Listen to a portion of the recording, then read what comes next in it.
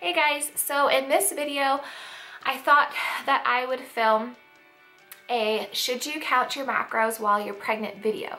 So if you guys are new to my channel or new to my story and my journey, you guys would know, I mean, you wouldn't know that um, I come from a past of counting macros. Um, I found that this was the best way for me to um, keep myself in check in terms of my diet, what I was eating. Um, it allowed me to not only stay lean and healthy, but it also allowed me to see how much protein I was getting, how much fat I was getting, how much, how many carbs. Was I eating too much salt? Was I having too much sugar? Um, all of those things are what um, counting your macros can do for you because a lot of times we completely go in blind. We think we have an idea of the things that are in our food and a lot of the times we don't. So um, this just kind of helped me to stay healthy and lean and feel good about myself and allow me to see you know what I was what I was consuming. Now now that I am pregnant, obviously disclaimer, I do not and I am in no way saying that women who are pregnant should diet. I think that is incredibly foolish and it's stupid and that is not at all what I am saying. What I'm talking about is counting your macros, obviously increasing your calories and your protein levels to make sure that you are getting enough for your baby boy or your baby girl.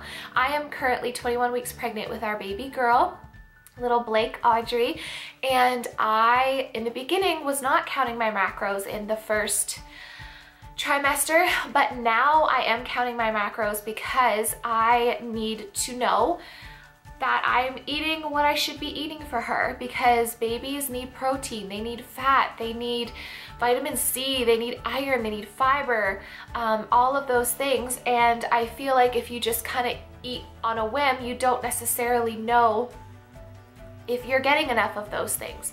So I personally think it's great to um, count your macros when you're pregnant as well because you need to know what you're consuming and make sure you're consuming enough. Now, when I first started, I realized very quickly that I was not eating nearly enough um, protein. Like my protein was seriously, seriously lacking because I was craving mostly carbs.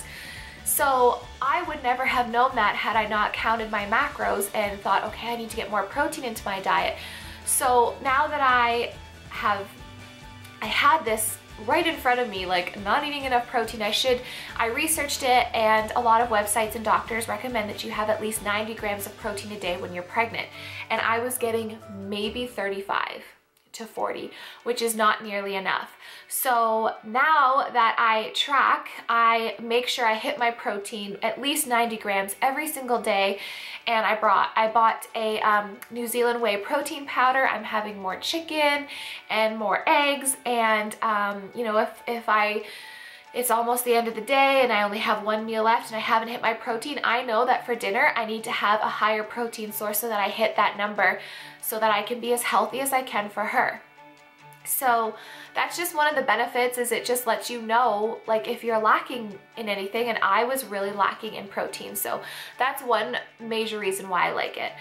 The other reason why I like it is for to see my salt intake because when you're pregnant, um, we, us women, naturally will put on quite a bit of, of water weight and um, a lot of women swell and they have um, edema and it's just really uncomfortable and um, actually too much swelling and can lead to higher blood pressure and more weight gain and it can lead to preeclampsia. So it's really important to make sure that your sodium levels are not through the roof and you're not getting too much water weight because that's not good for you and it's not good for the baby either. So one thing I like about using, I use MyFitnessPal by the way to count my macros or to keep track of them. So one reason why I like it so much is because I'll put my food in for the day and I can see if I'm over the recommended sodium amount of sodium per day or if I'm under. If I'm under, I'm super happy about it. If I'm right on, it's not that bad. I rarely go over because I see that number in front of me. So it's really important to track your sodium and using MyFitnessPal and tracking your macros gives you a way to do that so that you're not putting yourself or your baby at risk and you're not going to develop high blood pressure or edema or um, like too much swelling and preeclampsia. The other reason why I think it's important to count your macros and use MyFitnessPal is so that you're not eating 3,000 calories a day. Um, basically, when I wasn't counting, I was eating almost whatever I wanted and um, when I actually plugged it in one day, it was about 3,000, which was terrible. So obviously we need to eat more when we're pregnant than when we're not pregnant. However, that amount is not 3,000 calories, let alone 2,500 calories. That amount is whatever you typically eat to maintain a healthy diet and it says in the first and second trimester, you're only supposed to eat for 1.1, not eating for two. So they recommend your first trimester, you eat an extra 150 calories. Your second trimester, they recommend about 200 calories. And your third trimester, they say you should be eating about an extra 300 calories. So when you think about that, like 300 calories, extra calories a day is like one glass of full fat milk. That's it. Um, and like it's just crazy how everyone in society has this mentality that you have to eat for two, like eat, eat, eat, eat, eat. But it's actually not the case. It's not, um, we're not supposed to eat that much and, it will put our baby at risk if we do gain too much weight. Um, obviously every body is different. There are some women I know that are super healthy and they just happen to gain 60 pounds, 70 pounds and and they're healthy and they had healthy babies. So i'm not saying that like if you gain above the recommended amount that you're not healthy. I'm absolutely not saying that. I'm just saying that this counting your macros will kind of help you not to overindulge and continuously eat 3,000 calories a day and make your pregnancy and your delivery um, harder and put yourself at risk for all these different things that can happen. It's just gonna kind of give you that mental picture like you see it in front of you so it's just gonna give you that picture of like okay I'm at about where I should be for the day. If I'm still hungry, I'll eat something, but I'm gonna pick something that's a little bit healthier or okay, I've eaten way too much and I feel awful, so tomorrow I'm just gonna eat a eat like within this range or whatever. So it just helps to like keep on track. So what I did was originally before I was pregnant, I was eating about 15 to 1600 calories a day. And right now I'm eating anywhere from 18 to 1900 calories a day. Um, I do find that that is enough for me. Um, I know that some days I am really hungry and I just want to eat, eat, eat, eat, eat. But now that I'm picking healthier foods, I can eat more calories and well, no, that's not true. I can eat more food but have lesser calories because I'm not eating like a Wendy's burger and fry combo. I'm having like my calories from vegetables and chicken and more natural sources so I can eat more of it but not go crazy. So that's what I'm doing. I'm just sticking to that and then it just kind of helps me feel like I'm not out of control as well because obviously, you know, I love this little girl more than anything in the world already and I will gain 100 pounds. If, if you told me it was healthy to gain 100 pounds for her, I would do it. I, I'm not um, at all about like, oh, I can't gain too much weight because da da da. Like I'm gonna gain what is healthy for her and healthy for me and for a healthy pregnancy and delivery. I'm just saying that it really helps counting your macros to just not go crazy and not put on too much because when you put on too much, it does give, get you into a risk of all these things that aren't good, like preeclampsia and um, gestational diabetes, and it makes it so much harder for your delivery and so much harder after. So it just, counting your macros and making sure you're getting enough protein for the baby, enough fat, um, keeping your sodium levels down just kind of really helps in your everyday food choices and really like opens your eyes to seeing like holy crap I was eating way too much of this or way too much of this. Or in my case not enough protein not enough of this. I've hardly had any vitamin C today you know? So I hope that I didn't come across as like oh my god if you gain too much weight you're like not healthy. Like I'm not at all saying that. I am 21 weeks and I have gained 20 pounds, I think. And that was more than I thought I would gain, but I'm still active and I'm eating healthy. So obviously my body's gonna put on the weight that I need to support her.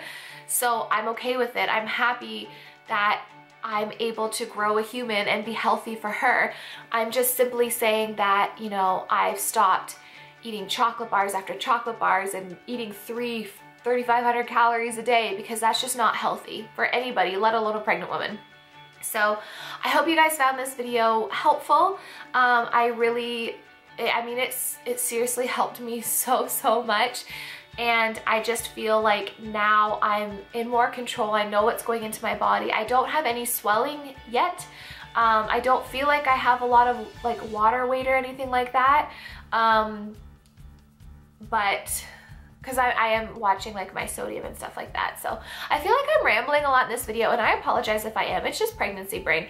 But yeah, bottom line, I just think it's it's so helpful and um, just to keep us on track and like eating everything that we should be eating for the baby and making sure we don't go crazy and, and you know, getting all the nutrients in that we need. So that's basically the point of this whole video. So yeah, um, I hope you guys liked the video. sorry that it was like all over the place, but you know, I have pregnancy brain because I'm pregnant now and things are just kind of blah and they're just, sometimes they just go away, they're out to lunch, I don't know where they went. But yeah, I'm gonna stop rambling and let me know if you guys have any questions um, or comments or anything. Um, Yes. I also did want to say too though, that obviously me eating 18 to 1900 calories a day doesn't mean that you should be eating 18 to 1900 calories. I'm eating based on what is healthy for me, my height, my weight, um, my activity level, plus the extra, now I'm eating about an extra 300 calories a day for her. So um, I'm not at all saying you have to eat what I'm eating. Some people will need more, some people will need less. It just depends on where you are and what's healthy. And as long as you know your doctor is saying yep you're doing good like you're gaining like the appropriate amount of weight and you are consistently putting on weight then that's awesome. Um, I just didn't want to be one of those people that wasn't gaining enough or was like crazy gaining so much weight. And my midwife would be like okay like you are eating way too much. Like this way it's just you have to do what's healthy for you and for your body. So just keep that in mind, okay? Okay. Thank you guys so much for watching. I love you and I'll see you in my next video. Bye.